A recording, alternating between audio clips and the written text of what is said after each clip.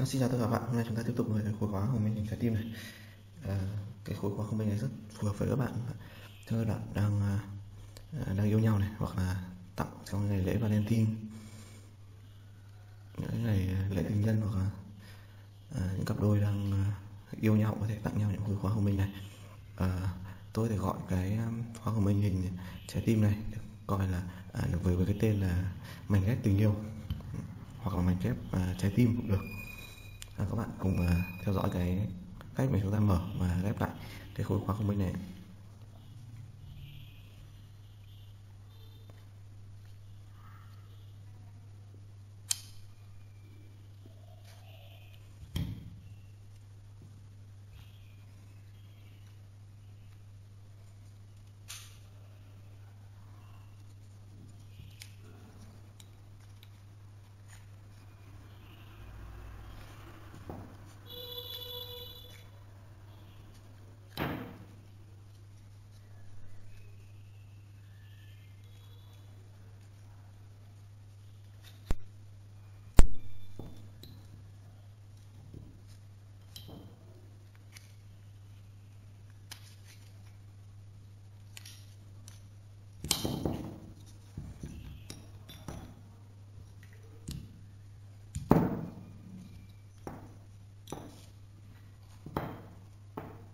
à, để ghép được cái khối quang minh này thì đầu tiên bạn nhìn thấy có hai khối rất là lớn.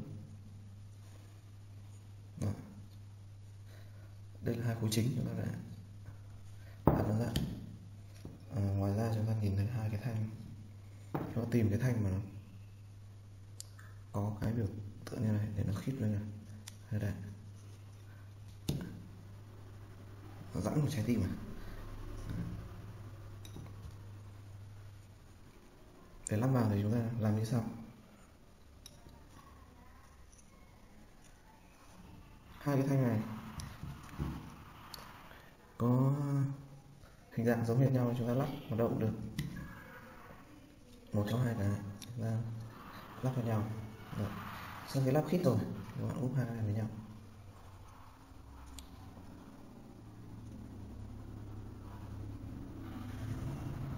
Nó chưa dính với nhau đâu, đây chỉ là úp cho nó khít rồi rồi, các bạn lấy cái thanh như này.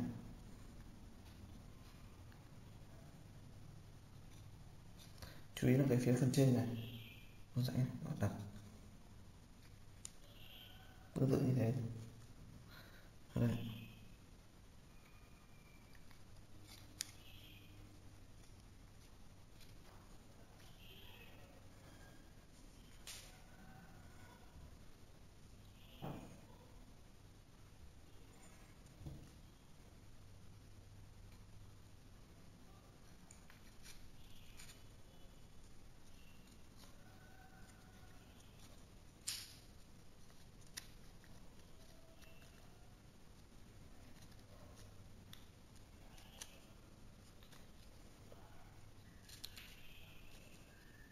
Cái này ngoài cái độ uh, uh, chính xác rồi thì chúng ta cần một cái sự tôi khéo tay bởi vì các cái uh, mảnh ghép ở trong cái ô này khi mà chưa chưa cố định ấy, thì nó tương đối dễ có thể uh, bị di chuyển.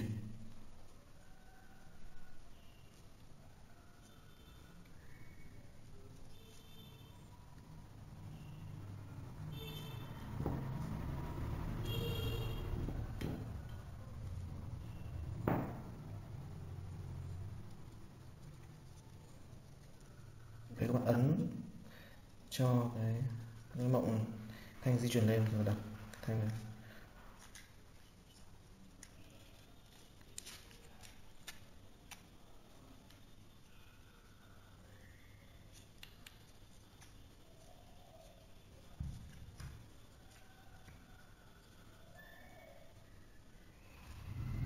Tiếp tục.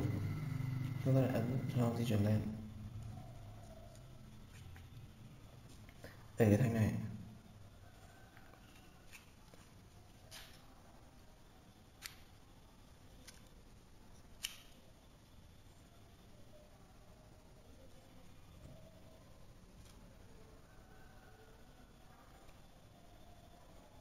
Chúng ta nhìn hai thanh tương đối giống nhau, anh chị đây